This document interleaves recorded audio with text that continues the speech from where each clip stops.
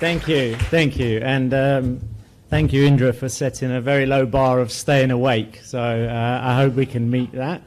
Um, yeah, look, thanks for giving me the chance to speak here and to do uh, what I think is probably the most interesting part, like Indra, which is to introduce some people who are actually out there doing the real thing.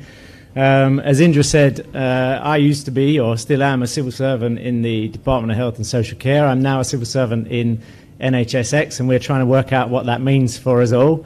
But um, at the core of it, and the thing that we've been working on probably for the last year or so, is to try and create a health and care system that helps innovators like the four that you're about to see uh, to, to support us to meet the needs um, and use the most innovative tech in order to do that. So, um, you know, as a system, we're looking at how we can make it easier for people who've proven that they're meeting a need, that they're doing something that helps us as the system, as patients, as users, as clinicians, um, and take it and roll it out. You know, it shouldn't be like the old traveling salesman with your thing in a briefcase, rocking up at all of the uh, all of the trusts and trying to flog your thing over and over again. You know, the system should be ready to promulgate good innovation. So some of the things we're trying to do at NHSX to support that are, you know, be hard on standards, try and shift the system to a kind of standardized uh, mode so that if something works somewhere, the kind of technicalities of rolling it out become much easier. And we're looking at, you know, hard levers that we have in that space around spend controls. Can we get in and uh, see what people are buying and, and make sure that it meets our standards and that it, it makes the kind of rolling out of innovation um, easier.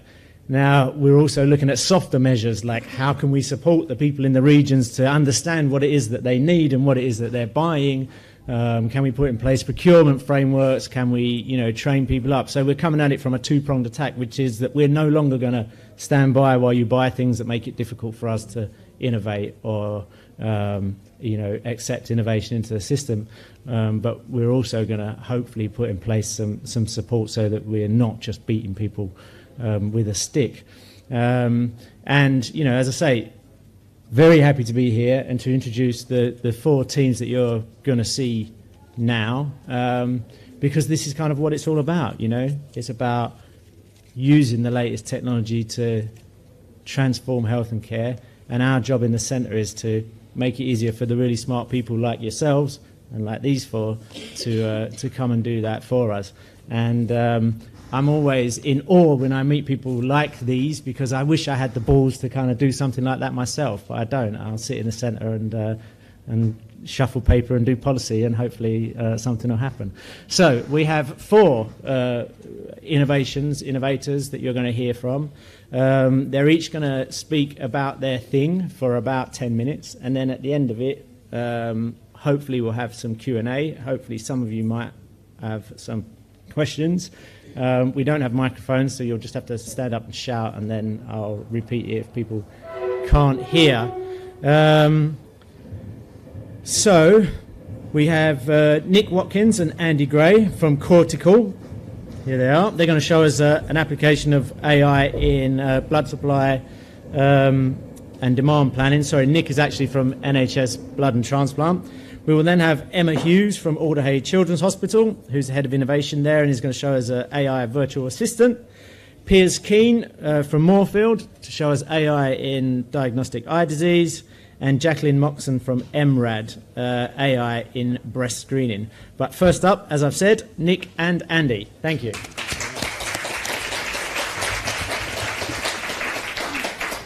Thanks. So yes, you have a double act. So we're going to try and keep this to 10 minutes between us. Um, what I've said to Andy is if I go over, he has to truncate his bit of the presentation. Um, so I'm from NHS Blood and Transplant. Andy's from Kortical. I'm going to set out the problem that we have as an organisation, and Andy's going to talk a little bit about the solution that um, Kortical are working on. So NHS Blood and Transplant, our primary role around blood donation is to collect blood from blood donors process that using standardized processes and distribute it to hospitals. We distribute blood to all hospitals within England. We collect about 1.1.5 million donations each year from about a million different donors. And we're looking at how we can use AI and advanced analytics in a number of areas as an organization. So we're looking at it around can we predict donor behavior? Can we look at it around can we understand the impact of donation on individual donors on their health? And the area that we're going to talk about today is can we look at intelligent process design in terms of making our organisation more efficient? so I'm going to focus specifically on platelets. So platelets, these are life-saving donations. They go to patients who um, have a very low platelet count. They may be having chemotherapy. They may have had uh, traumatic injury. Essentially, this stops them bleeding out. Um, we have two ways in which we collect platelets. One's called apheresis, one's called pooled. You don't really need to know about those. We hold roughly about a day of stock of platelets at any one time, and we take those donations and we process them into about 128 different types of product that hospitals in England can order. Um, they have a one week shelf life, so they're high value, uh, short shelf life products that we need to maximize the use of that donation to make sure that wastage in that system is as, is as low as it can be. Average demand on a daily basis is about 695 units, and that goes to 248 hospitals in England. We don't. We used to distribute blood to North Wales, but the Welsh have taken that back. Um, so there's a Welsh blood service, a Scottish blood service, with the English blood service.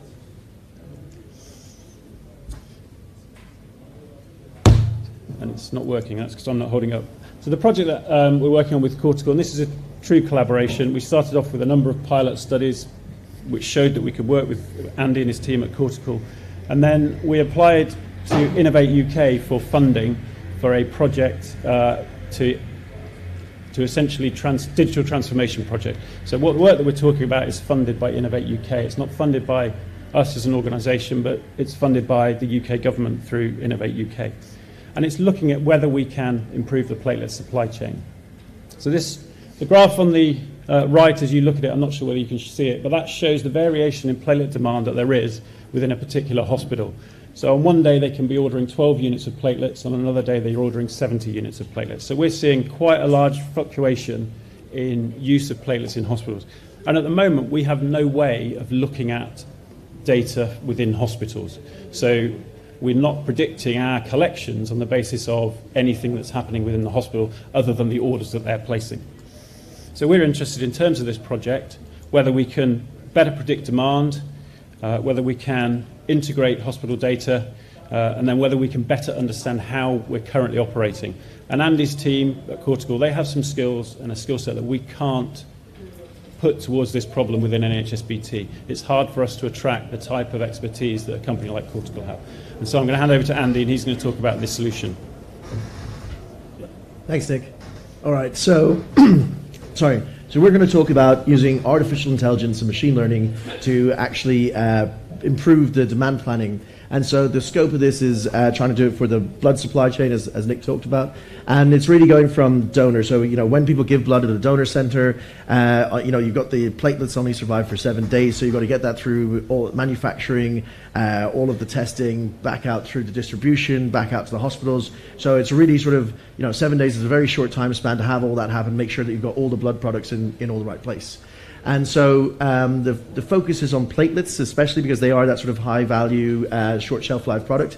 And uh, so the scope is national as well. So it's across all the, the stockholding units, feeding into all the hospitals um, from all the donor centers. And then as part of the next phase, uh, we're going to look at going into some of the hospitals and actually showing what the value increase we can expect if we can get that hospital data, improve the predictions, and then drive that through. So the targets for success are a 50% reduction in waste and a 50% reduction in the ad hoc transport costs, which we're going to touch on in a little bit. And um, you know, this is quite an ambitious project because from, from when we receive data to actually going live in, in August, that's a six month window. And then we've also got the, you know, we're going to, to go with the hospital data in, in March following that. And um, so when we're looking at the problem here, you can see this is, you know, the donor center. So this is where, you know, all the different people who do the collections. Then it goes to these stock holding units, which are basically sort of where we collect all of that bloods up, and then it goes into the different manufacturing sites, and then it goes back out to all of the different stock holding units. And um, obviously, we've got to try to f- figure out, you know, with, you know, is it A negative, A positive, you know, where, where all those bloods going to ride? Is it CMV neg? So there's lots of different ways that you can have all of these products, and it's a case of that we need all of that demand in the right place. Uh, but unfortunately, despite the fact that NHS already do quite sophisticated modeling. Uh, you know, they're using uh, linear regressions and, and all these sorts of things to try to get that demand predicted correctly. They end up having to shuffle around a lot of the supply that they already get to the stock holding units so that um, you know the, the, it is the, where it needs to be. And obviously, these ad hoc movements, as they're called, they can be quite costly as well. So the, the two big things that you get is, you know, obviously if it's in the wrong place, it doesn't get used. You've got those expiries, and then if you have to move it, then you've got the cost for the ad hoc movements. Ah. So we're missing some slides. okay, so um, so yeah, so basically, like what what, I, uh, imagine my diagram. so basically, like what we've got is um, when you're trying to do the predictive modeling, so you need to basically be able to figure out like who's going to come in. Uh, so you know where you know where uh, what donors are likely to show up, what who what blood are you going to have to create the platelets from, and then you also then have to do the modeling around each of the hospitals, uh, where that blood is going to go. Basically, then if you're looking at the patients, you need to predict what procedures are going to happen. So there's actually like a, a large amount of modeling that you need to do to, for, for this because uh, it's quite a complex supply chain. And then you've got all the logistical movements that you need to model as well. So by using uh, our technology, we're able to actually um, do uh, automate a lot of that sort of creation of the deep neural networks and the XGBoost and the other algorithms that you might have. And so we're able to build out models very, very quickly to, uh, to solve a lot of these different problems. So thank you very much.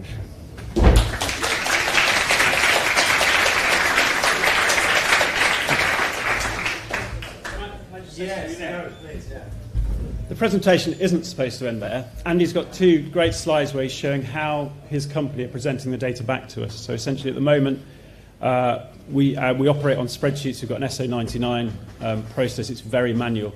And what the team at Kortical are building is something that's much more automated. And essentially, it gives you the next, next best action um, as a result of it. So he's taking all of our data, uh, integrating it in their automated system um, called the Core, building models on that. And the, currently, our initial estimates are with, with the first cut of the model, there's between, well, it depends on the different type of platelet, but there's between sort of four about 15.5% saving or average sort of improvement in their forecast compared to what we're currently doing.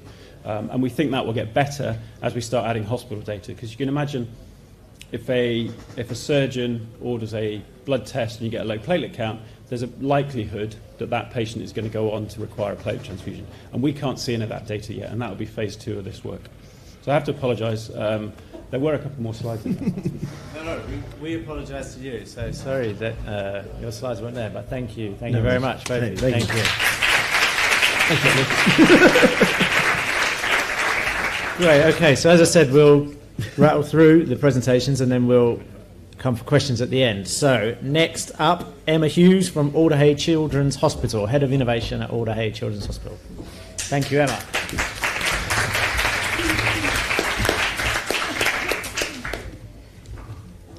Hi, um, good afternoon. Um, as I said, I, I work in the innovation department at Alder Hey. We actually have a um, dedicated innovation hub um, where we, our vision and our mission is really to have impact with innovation. We heard some speakers earlier today around how do we actually take the technology that's being done, get this staff engagement and deploy it within a hospital setting. That's really our mission around we're working from the start in terms of what are the healthcare challenges um, what are the needs of the staff and the patients, and obviously it's very patient driven, but also to get some of innovation having impact, we, we really do need to engage the staff from the very beginning. And so our innovation department is working on a program of um, identifying needs, needs and challenges from within the hospital. Now, again, one of our um, first projects we started um, probably t- back in 2016 was the use of artificial intelligence for patient experience. Um, we believe it's the first um, hospital setting use case of AI for patient experience. It's basically a virtual assistant, a conversation service, which was answering basic questions around the hospital um, for hospital visits, pre, pre-op, um, post-op information. Um, we started as a generic um, set of, of, of information, and we're also then developing into specific knowledge domains. So, for example, looking at muscular dystrophy or looking at head injury. Um, so, we've actually wanted to provide relevant information at the point of need for, for patients and their family. um, and that it's reliable information. So what we've actually done is we're creating its new data. So we've worked a lot, again, very much around, going back to kind of code of conduct, engaging the, the patients and the staff around what is the information that they both need um, at, and um, they are based on questions that we've worked through with all of the different departments. And then we've answered those questions. They're clinically validated or operationally validated around the hospital. Um, the other reason for working on this AI project wasn't just around can we deploy AI, um, it was also looking about building the knowledge and capabilities within Alder Hey itself.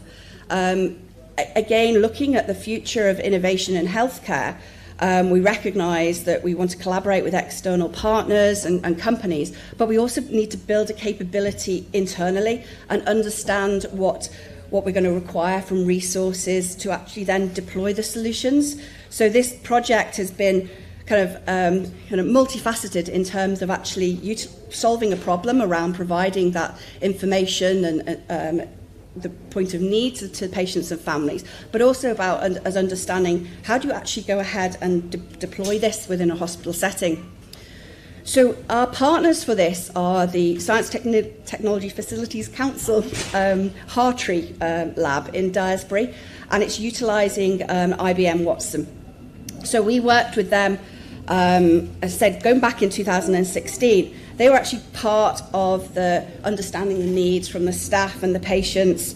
Um, we looked at how does the technology actually match that, um, that challenge. Um, so we looked at how we use the IBM Watson Conversation Service, what would need to be done to that. Again, this is a very collaborative approach. We, you know, we engage in a collaboration agreement. We were both kind of putting in, putting skin in the game at this stage because, again, this this Watson platform hadn't been used within a hospital setting or within a patient experience. So what we've learned from this is that it's not just about the technology. What Alder Hey brings to this is you know, real clinical utility. How can it be properly deployed? How do we, how do we do the, the question gathering? How do we answer it um, in, the, in the appropriate ways? And how do we do all that within, within the structure and governance of, and regulations within a hospital? Um, so they've been on a, on a journey with us, and they, they've been bringing obviously a lot of the technical knowledge, um, and we've, it's been a very iterative process. What we tried to do, though, we, is that we looked at, in addition to the technology, um, and again, this is, was mentioned earlier today, it's really important we understand how this is actually valuable. Um, so we took a number of kind of assumptions and objectives of the project that we, we needed to deliver on. Was, you know, can we actually deliver this within a hospital context? And actually, we've shown we can. We've got a minimal viable product. It's out there. It's available on our intranet. We're sending it. It's available through our um, patients engagement app um, Alder Play, and it answers questions um, about, you know, kind of pre-op or pre-assessment or general hospital information, anything from where's the parking to does, blood, do, does a blood test hurt. So from an MVP, we, we've, we've ticked that box. The other thing is, though, can it really support and enhance patient experience?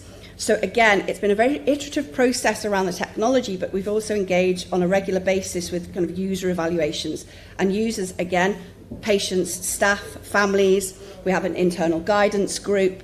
Um, and we've also got additional um, evaluations going on in terms of, um, you know, as we develop the technology, does it, does it still work? How do we enhance it? And again, it's completely iterative and collaborative. The other thing that obviously is critical within this is are we making sure that we can deploy a virtual assistant within the governance and, and regulations standards. So Again, we've got a multidisciplinary project team. Um, we've engaged, uh, part of the team is a clinical data safety officer, who's one of our consultants. Um, we work very closely with information governance. We completed a, a DPIA, um, and we are looking at the ongoing and emerging um, regulations, and we're working to that. One of the things with where we started with this is it's quite you know, we try, took the lower risk model in that this is not a diagnostic tool. This is about patient experience. But as I said, we're building a capability around and understanding how, how AI can be used within a hospital setting. So what we've been doing is working within the frameworks and the structure under the code of conduct that enables us, as we grow this uh, virtual assistant, you know, long term, we'd like it to be more personalised. At the moment, it's, there's no personal data in there We already have that framework agreed. We've got that, you know, data security, data infrastructure um, set up. In addition to that, um, we've also got to make sure that we are bringing tangible benefits to the hospital. So it's not just about the patients, but also how, how's this going to be sustainable? Um, you know, and generally that means it's got to be, there's got to be some resource or financial benefits. So we're working with um, and we're working with different departments looking at how, you know, where there's actual value in this um, going forward. And uh, and I think the other thing that's really important as part of our, our project is we're actually looking about how do we make this a sustainable solution in terms of looking at ongoing resources, requirements for it actually to be deployed. And part of that exercise is we actually now have three other hospitals who've agreed to work with us to be early adopters. So again, it's, it's going back to that, how do we actually embed new technology and innovation, how do we get it adopted and deployed? It, it's about really working very closely with the, with the front line, with the clinicians, with the other trusts, with the other hospitals to, to build that confidence.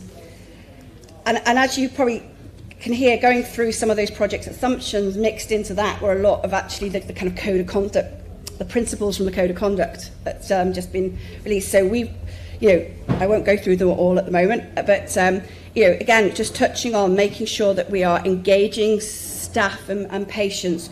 We're looking at how the new data set is being created, understanding, you know, the, the DPIA and IG compliances. We're making sure we're, you know, thinking about onboarding um, and also working very closely in terms of different different guidelines, the NICE guidelines, and um, and I think also the, the other piece of it is we've got this team that also includes a commercial eye in terms of we have to be sustainable as the NHS. Innovation isn't going to run on its, on its own. So again, it's looking at how, how do we deploy this, how do we become sustainable, and what are the, you know, the interesting business models that we can create as, as part of this, this process. Thank you.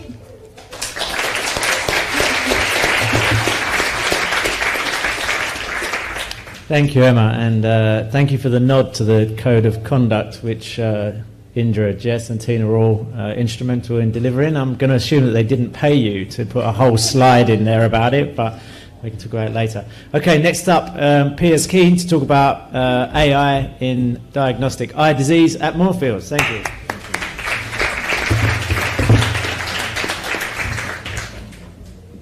Um, well, um, uh, I mean, it's fantastic to be here. I, would like to thank Indra for uh, inviting me to speak. And uh, I have to say, Indra, that your, your motto of getting shit done is one that really resonates with me. So um, I, I, hope that, uh, uh, you know, that uh, we can really develop the links with NHSX and, and really try and kind of, um, you know, transform the way we do things in healthcare.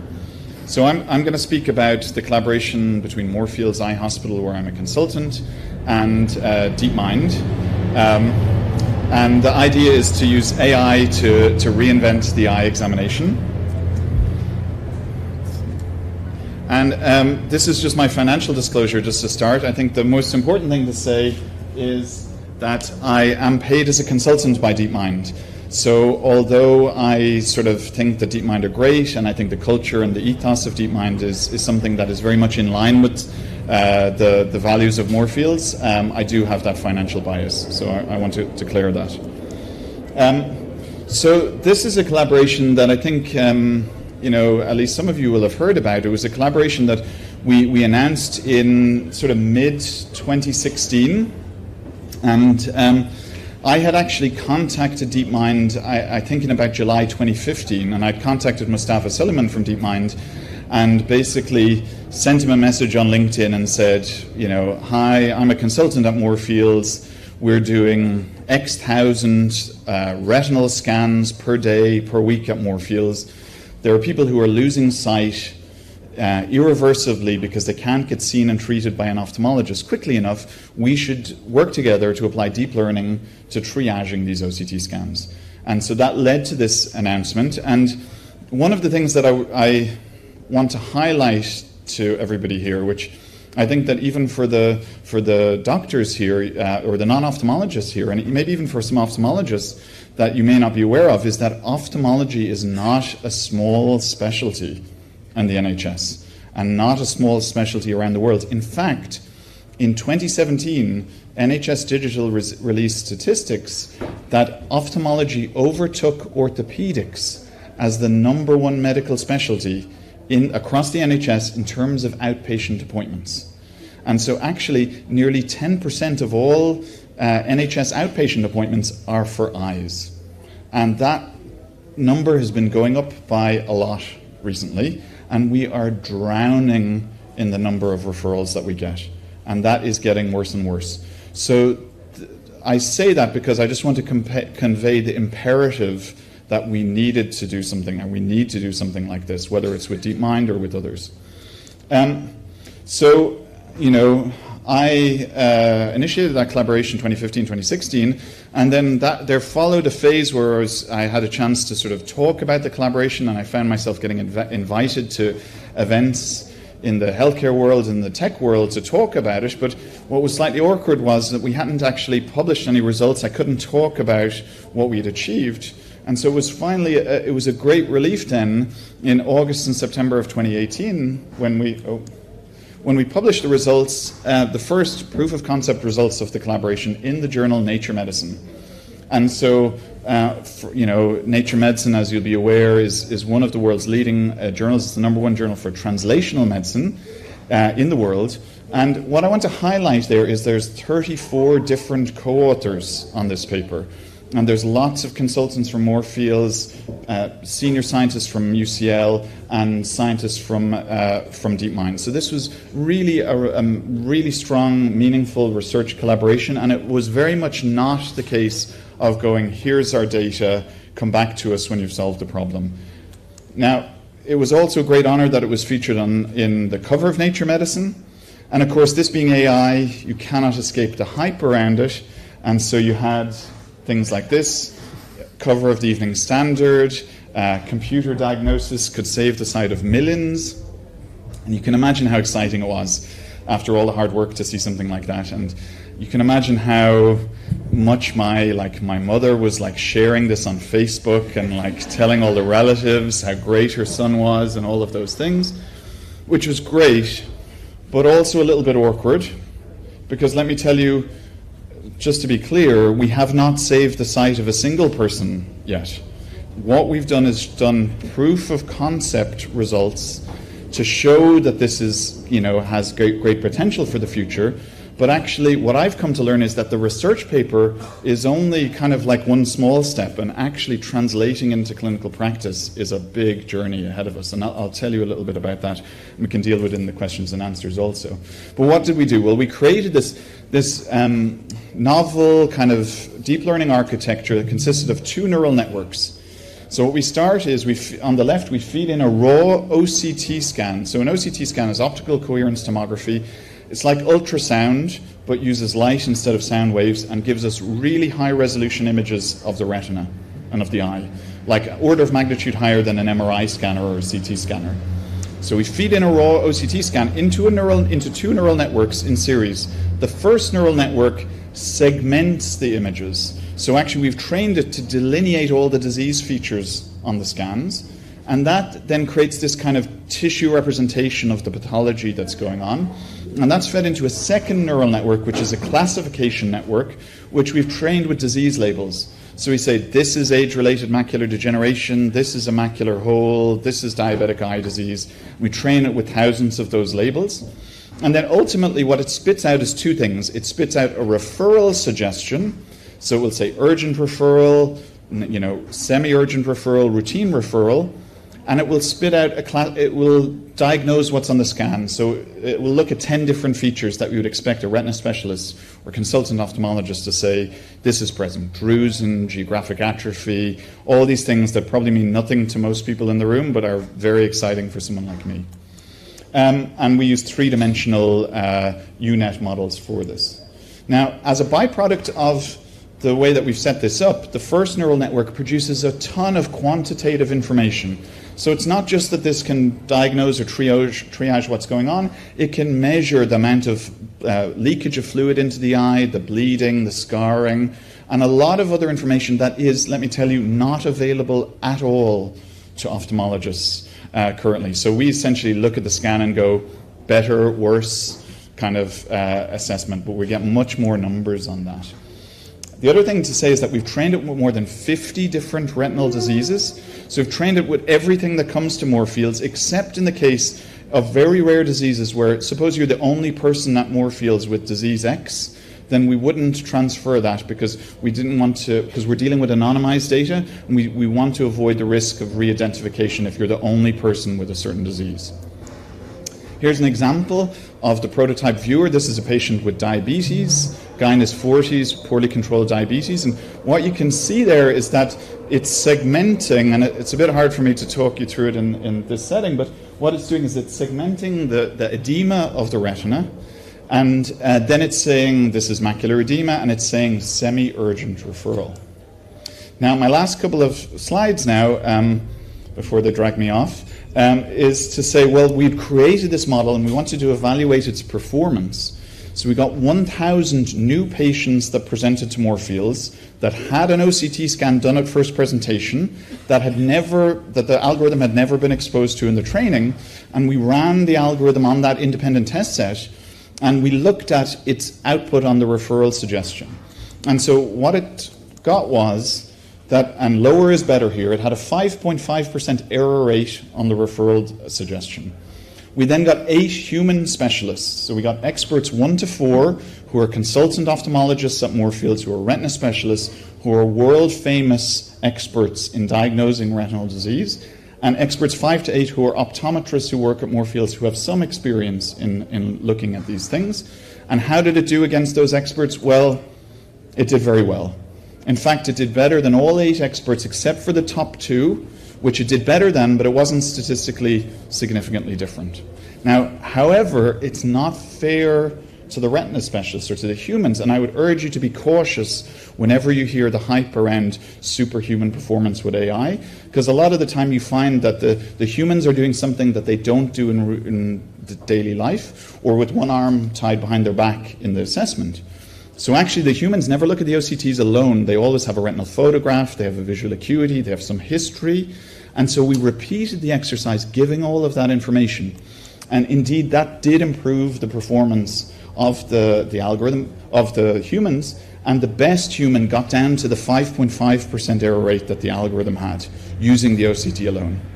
And you may say, well, what did it get wrong? And the key thing that the BBC picked up on was AI did not miss a single urgent uh, case. And in fact, the ones that it had the wrong decision, when we looked at the reference standards, they were often very ambiguous, challenging cases. And a lot of the time, with the benefit of hindsight, we felt actually our algorithm has got the right answer and our reference standard diagnosis was wrong, or at least questionable. So, my last slide then where are we going with this? What are the next steps? Well, look, I'm as excited as the next person, probably as any of you here, about the potential of AI in healthcare. But I think it's really important that we mix that enthusiasm with the kind of cautious optimism, a certain skepticism about these things. Because I think that there's great potential, but there's also lots of ways it might not work. So we have to have robust clinical validation before we let this technology loose in patients. We're also doing a lot of projects now related to AI assisted science. In particular, we think we can predict the future onset of macular degeneration six months ahead of schedule. And we think that ophthalmology will be the first medical specialty to be fundamentally transformed by the application of artificial intelligence. Lastly, it's hard to read. That's my email address. Uh, that's my Twitter handle. Thank you very much. Thank you. Thank you, Pearse. Thank you. Okay, finally, Jacqueline Moxon, who's going to talk about AI application in breast screening. Thank you.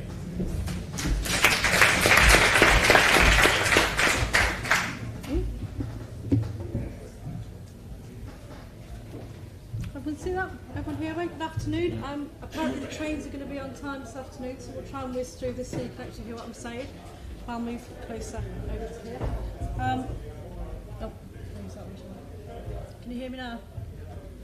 Yeah. Okay, so um, slightly different slant. I work for EMRAD, which is the East Midlands Radiology Consortium, and we are based uh, in the Midlands, and we have seven trusts along the bottom there that we are joined together. We are one of the test beds um, for this year, and we are working with four partners Optimity as an evaluation partner, Kheiron, faculty, and GE Healthcare, who are our contractor. We are looking at using AI for breast screening. Um, so, artificial intelligent breast screening, as we are learning to support. Um, so, we're trying to improve the capacity improve um, patient care and the confidence. I think we've heard a lot today about patient and, and um, public confidence in AI. So, what we're trying to do is more than just AI. Uh, on the right-hand side there is quite a powerful picture of Dr. Liz O'Riordan, who is actually one of our um, patient supporters. She's also a breast surgeon and has recurrent breast um, cancer. So we're looking at the engagement, the clinical feedback, the systems integration. So what we found to date, one of the problems is that we're working with legacy systems, trying to get the data out of the NHS and then trying to provide that data to our partners that we're working with with um, with faculty and Chiron. So it's been it's been quite problematic. We're halfway through, so this this is the real world. Um, how are we going to then expand it across the trust once we, we get to the end of the test bed? So we're at the stage at the moment we have just provided de-identified data to Chiron who are using their Mia tool, there's the train, uh, who are using their Mia tool to, um, to review that data and calibrate it. So it's going to be a couple of months um, before we get to the next stage, and that is uh, retrospective data. So as we go forward, we'll do the next stage, and we will have to have a trial. Um, so it, there's quite a lot of work, and I think sort of um, Pearse was saying there that we have to take it, you know, sort of a pinch of salt really with all, all of the hype that's going on. It's going to take a while to actually get all this data out there and get the IA working.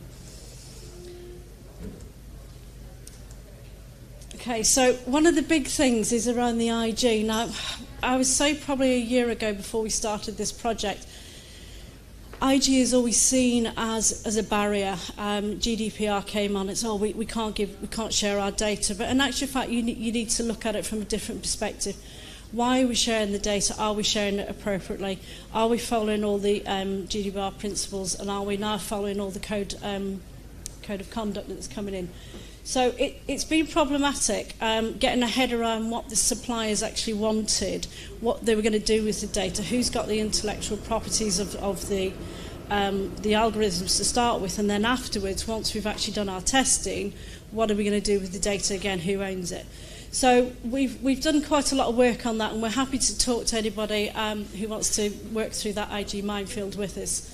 Um, So as we move forward now, it's about building clinical and patient support for this technology. Um, with the with the other partner that we're working with faculty we're looking at the operational aspect. So again trying to use that data and that involves staff data as well. So have we got the right people in the right place? So if we're going to produce this imaging data get the ladies through the process a lot quicker have we got the staff in place? So breast screening, just so if you're not aware, um, we're understaffed within um, breast screening by 20, 25%. Retirement, we've got a lot of vacancies. So it, it, it is a it is a big issue, and I, I'm, I'm sure radiology isn't um, alone. Um, all the other disciplines that we've talked about today over um, the course of the event. So, as I said, it, we've got a padlock there. We've, we're just we're on the threshold of providing data to the second AI company. Um, I would expect that in three years' time, when I go for my next breast screening, being in that age group, that as the second reader should be, and I hope it will be, AI. So we will still have the human element. I think everybody, that's what they're fearful of. Is there a human touch to all of this AI? So I think you, you need to expect that it's coming. If you're fearful of it, you need to get your head around it because it's going to happen in our generation. Um, but I say, as expected, that in three years' time, there will be a, a machine that will read one of my um, images and we'll have a human reader next to it. And I would expect when I go back in six years, it will be, you know, it's out there as a norm. So thank you very much. Uh, I think we're going to hand over now. We're going to have some general questions. Thank you.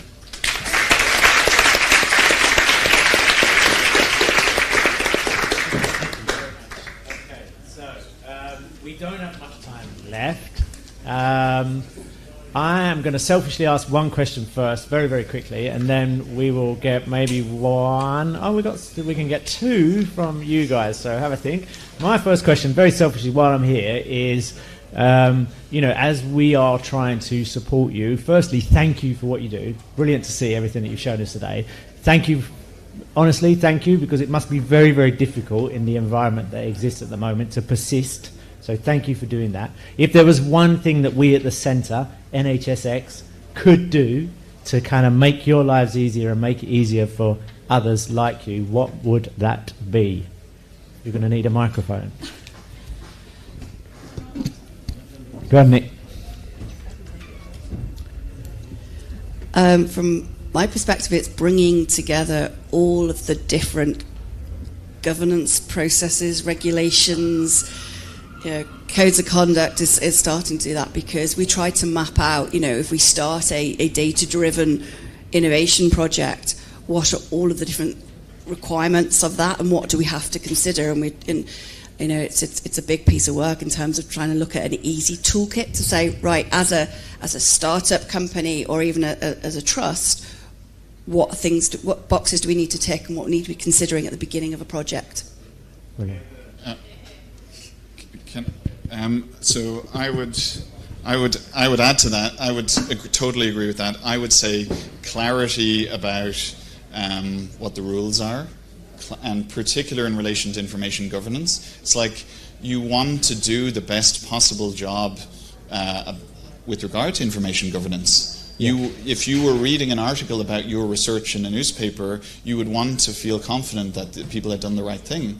And the problem, the reason why information governance is a challenge is not because people want to take shortcuts, it's because there's lack of clarity about what you can do. And oftentimes you encounter this thing where people just don't know and they just go GDPR, Yeah. GDPR, and, they, and then you go, well, why is that an issue? Can you just pin, like, what's the specific thing we have to do, deal with? And they just go, no, GDPR, and that, and then you have to deal with that. And oftentimes you, you're in a cycle, and I'm sure you guys can relate to it, where you arrange a meeting and you have like this meeting with someone, nothing happens, two months have passed, six months have passed, and at the end of at the end of six months or the end of a year or maybe never, you just realize actually it was something simple and we just wasted six months. And actually just some if someone who knew what they were talking about had told us the right thing at the start, no problems. Brilliant.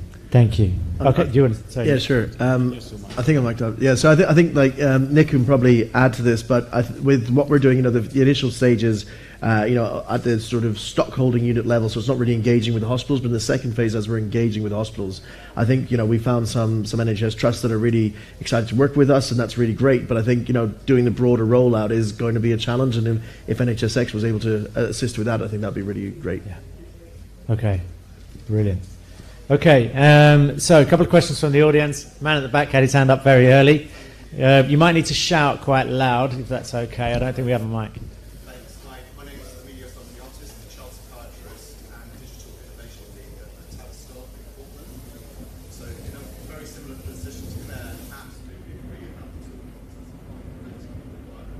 What I'd like to ask is about your views on unlocking for innovators in working in the NHS a share of IP or a profit share in developing these products that a lot of your time has gone into developing stuff. How can we inspire people to have pride at the end, at the beginning, during, and at the end of the process? And what's an NHSX think about it? Okay, well, NHSX thinks that's very interesting, but I suppose you're asking um, the panel: Would it have helped, or do, do you need help in un- if, if if we were interested in those co-creation models uh, or something? Yeah, so I suppose from our point of view, we're in the fortunate position that because we're Innovate UK funded, we have to have a collaboration agreement between ourselves, between the different parties, which includes sort of, for want of a better word, kickback to NHSBT for our involvement in it. I think I'd put the question back to the companies that want to work with the NHS And actually, they need to be aware that it's not just about getting the data and providing a product. There has to be some benefit to the NHS, be that, and some of that has to be, I think, financial. Yeah, I mean, uh, and yeah, and I think NHS is very interested in that. We are exploring what that means. A bit to Pearse' point, we, you know, commercial for us generally means buying stuff. So we have lots of commercial people who are good at, you know, or good, but you work on buying stuff. We probably need to think about, you know, new commercial models, and we are. But that is very interesting, and if, if you think it would help, then that helps us. Yeah, I mean, we've, we've started to look at a lot of different uh, kind of collaboration models, and I think also taking a lot from, from industry in terms of innovation and how new ways of working and open innovation was quite new in industry, and, and we experienced the same thing within NHS, and we can learn a lot from that, where actually it has to be a win win partnership, and it, it's not just about. Um, you know, the, the, the companies uh, um, getting the benefit, there has to be feedback into the NHS as well. Okay, I'm being told no more questions, but um, if anyone's got one quick question with it, that, that would be get a quick answer, and I'll get told off afterwards. Okay, gentleman there.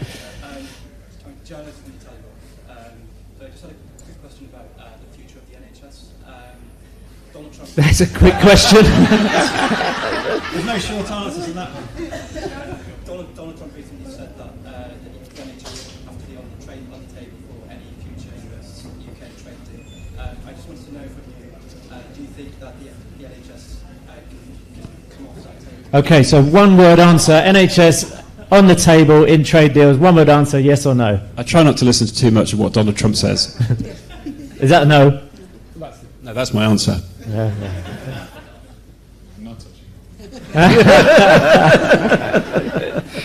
Brilliant. Okay, listen, thank you very much to our panelists. That was really interesting. Thank you for your time and thank you for doing what you do. Keep going. Thank you.